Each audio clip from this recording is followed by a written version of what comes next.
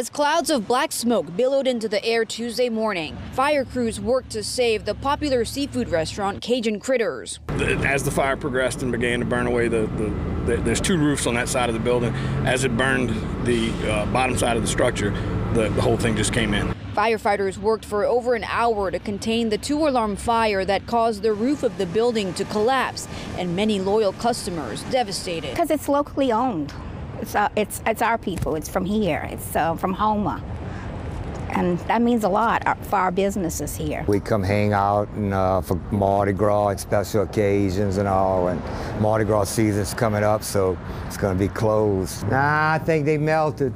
Al Marmon came by Tuesday afternoon, hoping to salvage some of the memories unscathed by the fire. All these little heirlooms. In fact, uh, I had got my eye surgery done in 2010, and they gave me some little eyeballs, and I had stuck them on the wall, and I wanted to go look and see if they, was, had melted or anything. We've suffered a lot of losses lately because of the economy. Um, we've had a lot of our family-owned restaurants closed down, so this is just another one that that's going to be lost, and it's definitely going to impact our community.